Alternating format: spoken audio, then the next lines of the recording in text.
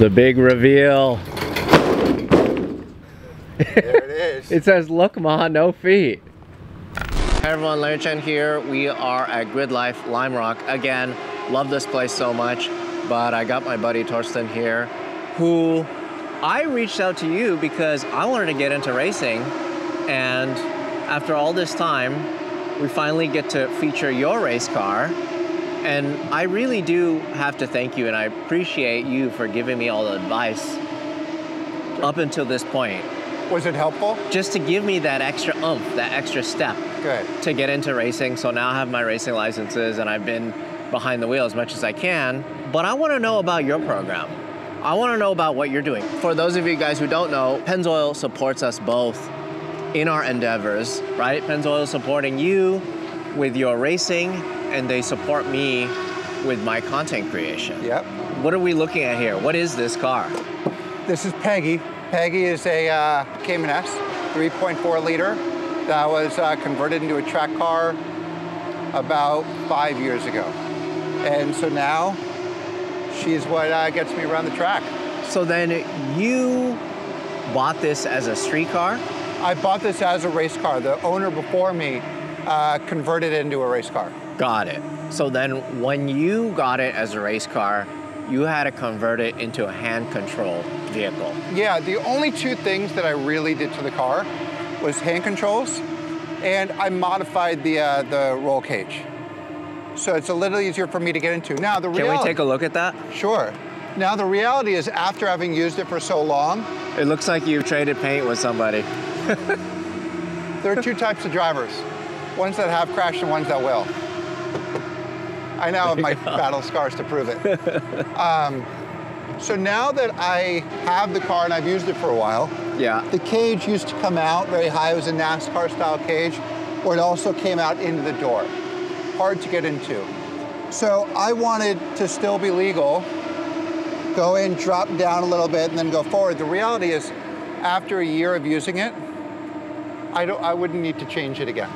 So, So I could have a crossbar. When you modified it, you brought it down lower, thinking that it would be faster for you to get out of it. faster to swing my legs in and out, and for me to get in and out as well. Got it. right? So, look, I need to be able to get out in a really quick amount of time if something happens on track. To have something that's really high, I wasn't confident that I'd be able to do it.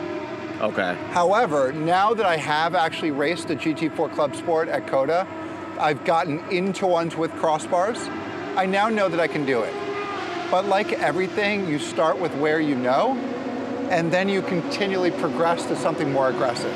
Honestly, the big thing for me is really showing that nothing can stop you from racing. You're gonna race no matter what. Yep. And you using hand controls, you know, hopefully it inspires a lot of other people to get into racing despite their challenges. Yep. Track driving is about creativity. Whether you're in a wheelchair, whether you're too large or too skinny or too short, too tall, whatever it is, like we all make the modifications that work for us. Yeah, I happen to have hand controls and I did a little bit something to the roll cage, but ultimately everybody needs to find their thing that works for them. And it doesn't always happen right away. It takes getting used to and trying it out, failing, and then uh, trying again, failing again.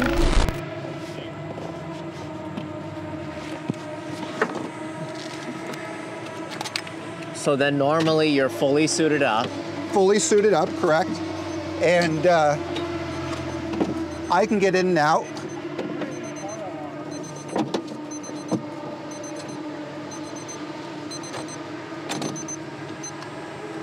And so I have Whoa. that, and I'll explain that to you in a minute.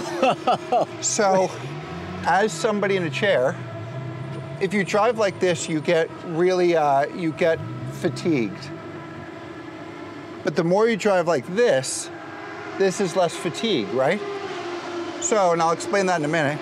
So when I'm tracking, I'm actually as, cl- it's as close to me as possible so that I'm going fully around like that. Okay. So, How's my car set up? These are my hand controls. This is actually a prototype that has never been seen before. So it is turn for gas, push for brake. Whoa. I don't have dexterity in my left hand. So I go like this and it locks me in, right? However, I can catch a spin, but if something goes really wrong, I'm out, right? Otherwise, you could break your hand. Could potentially break your hand. But I've been into walls before. You know right beforehand, like an able bodied person, you take your hands off the steering wheel so you don't snap your thumbs, right? And wrists. I do the exact same thing. I'm just using one hand to drive the whole time. Now, why these have not been seen before Uh-huh. is I chose a PDK because it shifts really fast. So does a DCT, right? Dual clutch. However, there are times when I want them to be able to shift. I want to be able to control the shift. So this is downshift.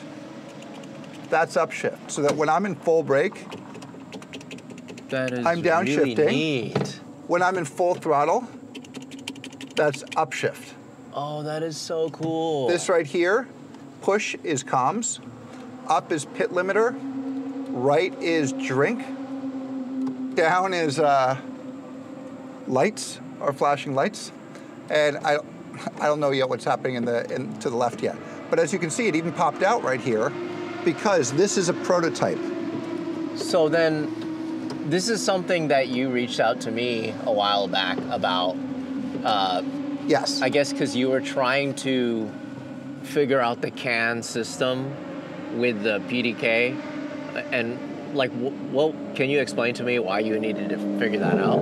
So, if I'm ever in a, uh, a team race, I don't want these to become invalid or unusable. So, I needed to figure out a way how to tap into the car's brain, if you will, and allow me to shift as well as somebody else because the brake and the throttle are manual.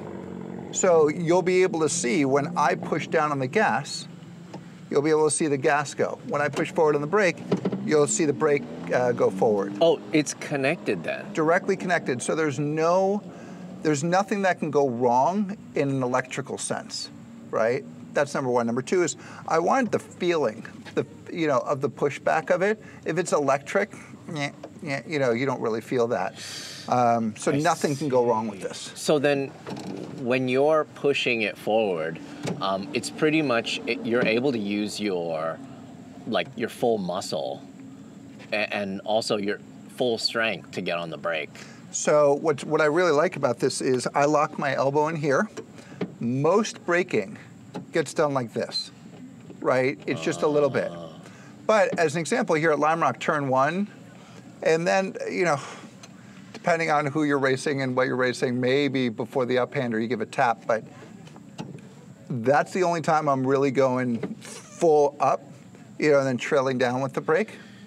Uh, that being said, I, depending on the track, I put the connection of where this goes onto the brake stem up or down. The higher up I go, the less I need to push forward, right? It's, it, it catches really quickly. But there's some really fast tracks like uh, VIR where there are only really two braking zones and the rest you want to finesse it.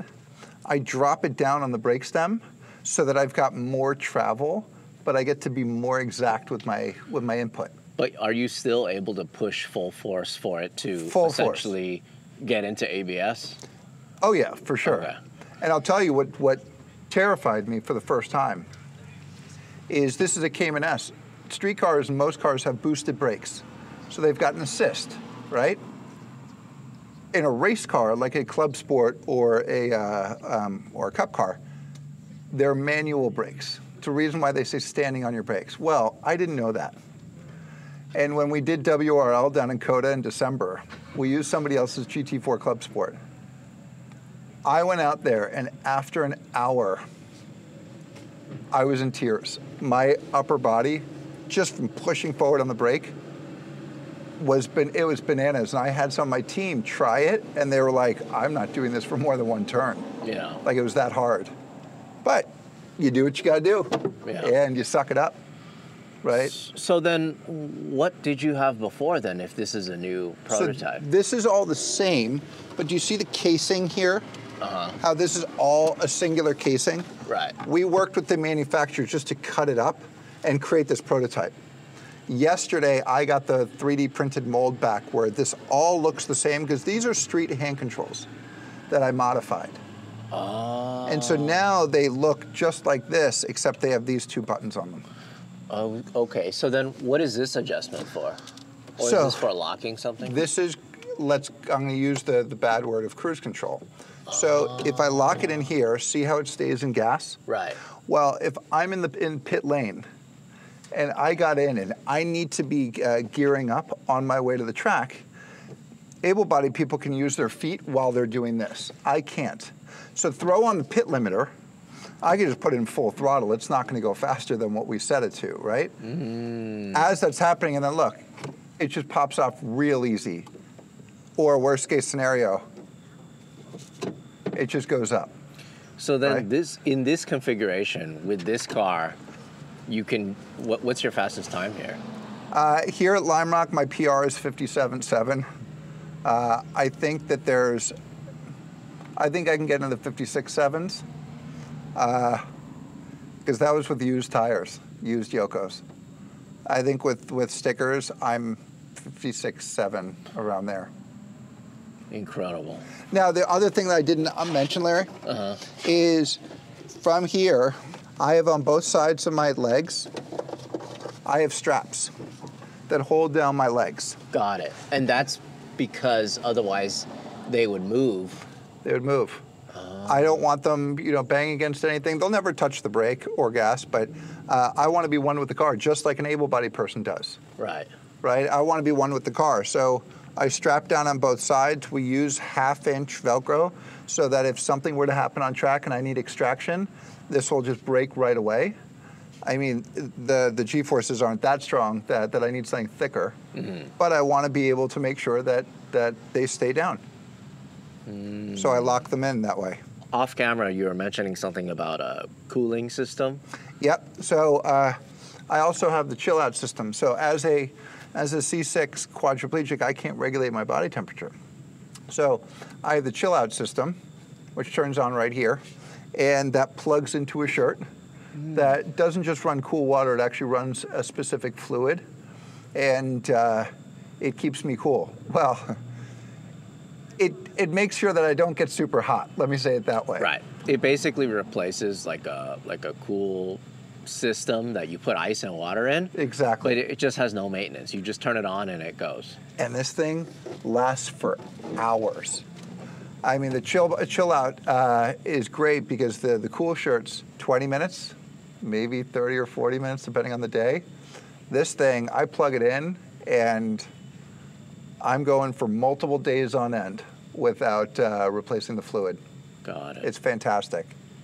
And then other than that, you know, you've got my checklist here. You know, it starts with 12. Deep breath. Remember to have fun, and then destroy everyone. I love that. And then So- other than that, you know, look, these hand controls come out if they wanted to within one minute. Anyone can drive it, Yeah, or I, I mean, can I just it. I drove it here. All right, so this is the process. You take off the wheel. Take off my leg straps. So then you have to have, and then you you have to unplug your cool system. I'm assuming radio if you have one. Yeah, and I do. However, all that snaps in an emergency situation. So I can get out in about nine to 12 seconds. Now, in a emergency situation, my only goal is to get onto the grass on the track. Then I can kind of scoop myself away. But as long as I'm out of the car, then we're all good. So then let's talk about the racing that you're doing. Yeah. What's the majority of racing that you're doing in this car? So right now I'm trying out different leagues because all different leagues have different feels and different you know groups that run with them and and all that. So I'm doing international GT, I'm doing SVRA, I'm doing uh, um, HSR and SCCA because they all have different feelings, right? Now next year I'm moving up to a GT4 Club Sport which will get me into things like IMSA if I want to, Porsche Sprint Challenge if I want to. It opens up the doors because it's more regulated, because these are, you fit into a class of the build that you made, right? Versus you know what class you're in because it's a factory built race car. So then, are you going to have to modify it more in order for you to be able to use the manual brakes on those? So, well, I'm not going to change the manual brakes because I'm a glutton for punishment. And look, I don't want to change many things. I want other people to get in. So I just work out a ton to be able to do that. The only thing that I will have to do is in order to get the clutch, get the car out of first gear with a clutch, there's a stick that just pushes down. Going from zero to, to rolling, you don't need to hold the steering wheel, right? So you just hold it down, slowly release it while I'm giving gas. And then that stick doesn't matter anymore because you never touch the clutch anyway when you're on track. So if I were to spin on track, if I need to start moving, I can do it. But most of the time a race team is pushing you anyway to get out of it. So I can race anything that's a dual clutch, anything. That's, uh, Supras and Aston Martins and Mercedes. And I mean, I can't believe I'm so fortunate that I actually get to say those words. It blows my mind, to be very clear. The reason why I race them is because they make me equal to able-bodied people. If I were to do a Mazda Miata, you need to be able to shift with that in order to be equal. I can't do that. Unless you buy a sequential, we could figure that out. But you're at 130 grand there starting anyway, right? Uh, why not just buy a dual clutch at that point. The slower cars, I just can't get into them because I can't shift. But look, the trend, the way the trend is going, we're, we're losing clutches anyway, right, on modern day race cars. They only happen to get out of zero. So that means that within the next couple of years, I'm going to be able to race whatever I want to race, mm-hmm. which 10 years ago, I would have never, never have thought that. Yeah, that's awesome. That's so cool. I love that for you. It's crazy. What a cool car, though. Thank you. I, I, I mean, this is a lot of car for me too. Just, I couldn't imagine just the the precision that you have to have on the hand side. Uh, yeah, well, I'll say the one thing that people say when they get out of my car, the one word they use is smooth. Mm. Because your hand-eye coordination is faster than your eye-foot. So I have the ability to really manipulate in a fine way the gas and the, and the brake. It's incredible. You would, you would never believe it. But it's super, super, super smooth. Quite honestly, some people think that that's an advantage that we have. And I might say maybe, but I don't have back muscles, so I can't hold myself up. I don't have, uh, I can't regu regulate my body temperature, so I get hot. I steer with one hand. So if you want to give me an advantage, maybe, but I got a ton of other disadvantages. But I'm still placing first in most of my races, so uh, I guess I got something that I'm doing okay. I love that. So then, how long have you been racing now then? Uh, last year was my first race year, and I've only been on track for three years. I guess I just figured it out. You really just jumped right into I it. I jumped right in. Racing is the, uh, track driving is the only sport that makes disabled people equal to able-bodied people. There's no other sport that makes us equal unless you're British and you think that throwing darts makes you equal, but I think that that's drinking adjacent, right? Like that's not a sport. This is the only sport where you and I will be in the same division, period. And when I felt that for the first time, I felt equal where no one knew that I was in a chair when we were on track. It was just me in the car, equal to everyone else. There's, there's a, just a feeling that goes along with that that I, I, I struggle to give you words right? Because after 30 years now of being in a chair, not to find something that makes me equal to you, you live with it. But I want to be equal to everybody. No, it's racing. I want to be first. I don't want to be there equal. I want to be first to everyone. So then what is Just Hands? So, because of this feeling, I didn't want to just do this myself. I needed to share this with other people because for other sports, others helped me get into them. So I now wanted to be able to help other people. So we created the Just Hands Foundation, which has a, another 981 Cayman that is just for other people to use so that they get to experience what I get to experience. starts out with HPDE with track driving, and then if they want to get progressively better into racing, that's what Just Hands is. And look, thanks to to Lime Rock, and thanks to a lot of people like Pennzoil that don't treat me as somebody in a chair, but rather treats me as a racer that happens to look a little bit different. And by that I mean beautiful. Uh, they help me out. And th- th- it's not a cripple party. They are just kind of like, you're good, let's help you. There are not that many brands that do that, right? That really see what we're doing and say, I want to be part of that. And so we're very, we're very lucky that they help us with Just Hands. I love that. That's awesome. Do you normally run the Yokohamas on this? I am, unless a race league makes me race something else, which I don't like, I'd rather stick with my Yokos. Um, I can't get into certain race leagues if I if I do that, but uh, my my tire of choice is by far Yokos. They've got a stiff sidewall. They last really long.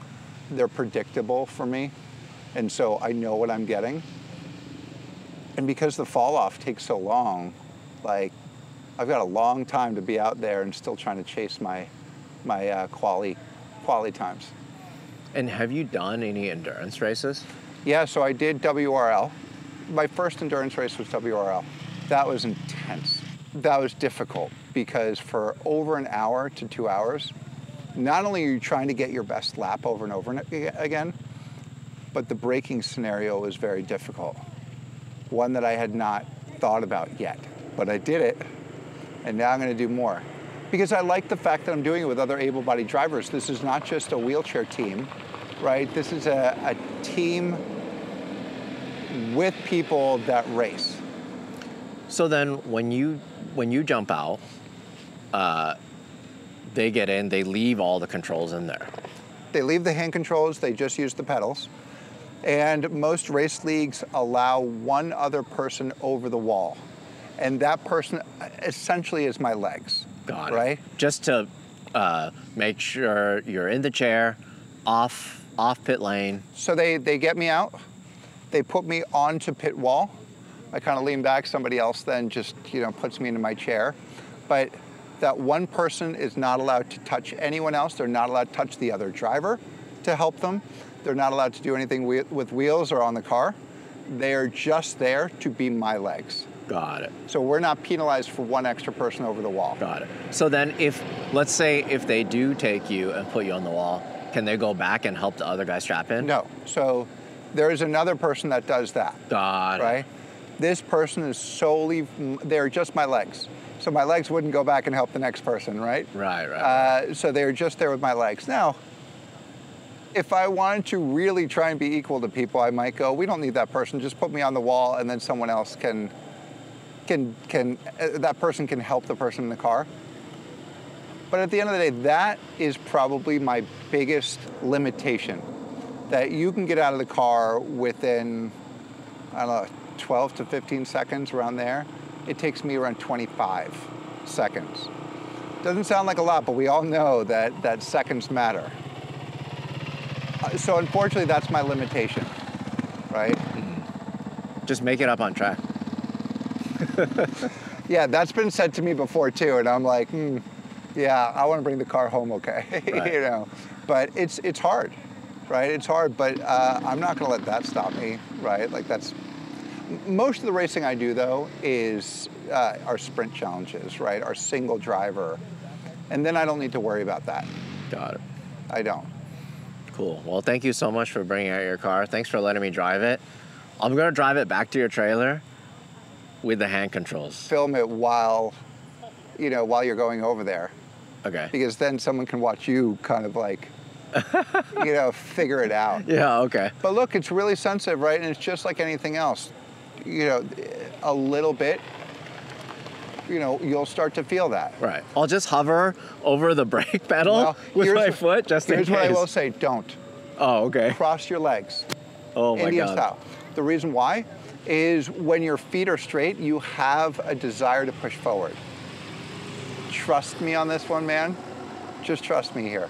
Cross your legs, turn on the car, and go. Okay. All right. I'm I scared. promise I'll you, try you it. won't hit anyone. Okay. Right? All right. I'll try right now. Oh. Wait, look. Okay. Wait. So how come how come it doesn't move when I'm Oh. Oh, I feel it. Okay, so this is just connected directly to the brake, but it doesn't move when I brake because there's a, then there's like a slack in it. But when I use the gas, it turns. That's crazy. And then so this is like kind of like cruise control. You can just lock it. That's so cool. Okay. All right, I'm gonna try this. So put it in drive. Oh. This is so weird. This is super weird. Wait, what's crazy is you could push gas and brake at the same time. Oh my god, this is so weird. Okay, so wait, so how do you shift up? This? Oh. I'm I'm scared. Oh my god, this is so weird. This is not easy. I couldn't imagine going 10 tenths like this. I could not.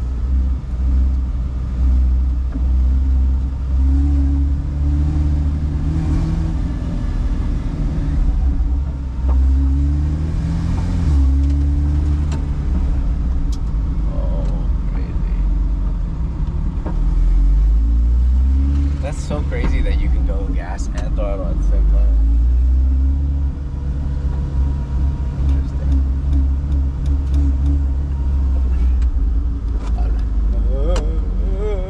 Hold on. What I like is this, look. So, you put it in, park. I like this, look. I like that. It's so cool that you could just, I mean, it's the gas, but you're using, it's like a motorcycle. that is so cool.